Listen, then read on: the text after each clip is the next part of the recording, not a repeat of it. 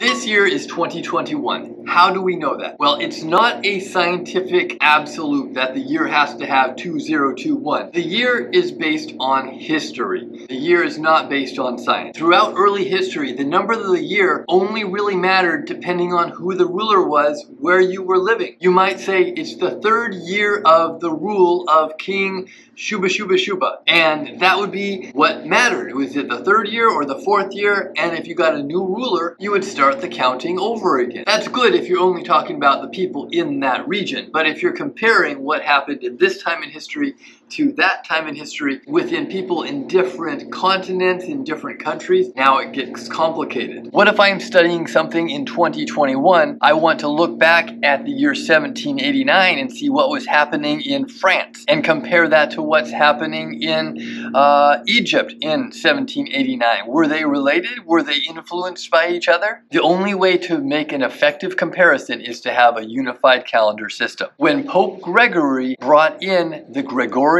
calendar, he made a unified system that everyone in the Mediterranean and European region was able to use. Why was he able to do this? Because of the power of the Catholic Church. During his reign as Pope, the Catholic Church ruled most of Europe. It was covering so much territory, and the Catholic Church had so much power that if they said you're using a new calendar, you're using a new calendar. So his system based the years on an estimate of when Jesus' birth was. He would put them on a number line, and on one end you have the earliest years, counting backwards from the date of Jesus. One year BC would be one year before the birth of Jesus. Two BC would be two years before the birth of Jesus, and so on and so on. Anything after the birth of Jesus, we would start counting up. One year after the birth of Jesus would be 1 AD, Anno Domini, which means the year of our Lord, which means any year after Jesus was born would be considered the year of our Lord. 2 AD would be two years after Jesus was born, and so on and so on. Lord means someone who has power over others. In this case, it would be the Lord Jesus Christ, who would be the leader of the Christian religion. Circa means around that time, like a circle. If we say a period of time or an era of time, we're talking about a certain segment of time that has a common characteristic. So there it is, BC and AD. On a number line, it looks like this. One BC on one side, one AD on the other side. It's important to know that there isn't a year zero. It just switches over in a moment.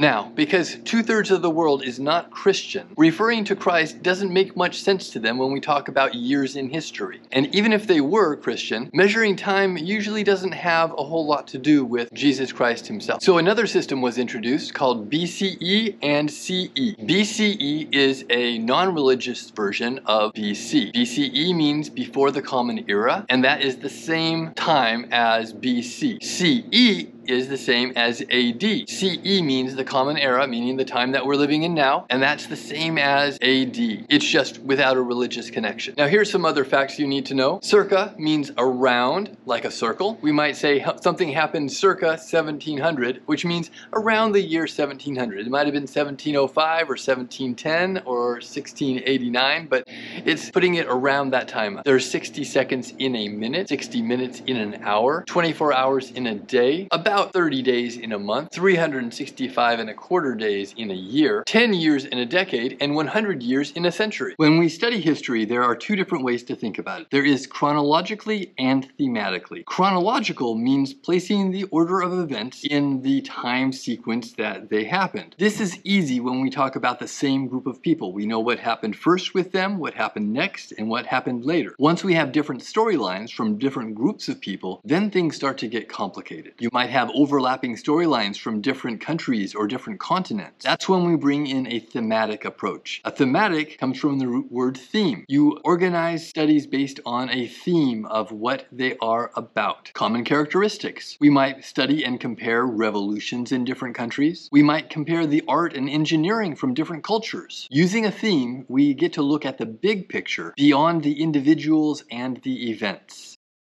When we create a timeline, we can combine those themes with chronology. We can put several events in order, but to make it more meaningful, we can choose events that match a particular theme. For example, you can choose events from your life. That would be the theme. You and your life. When you were born, your first day of school, the first time you ate lunch in the cafeteria, or whatever else significant happened to you. You can put events from revolutions all around the world, and we can compare. Did they all happen around the same time? Did one revolution inspire another revolution?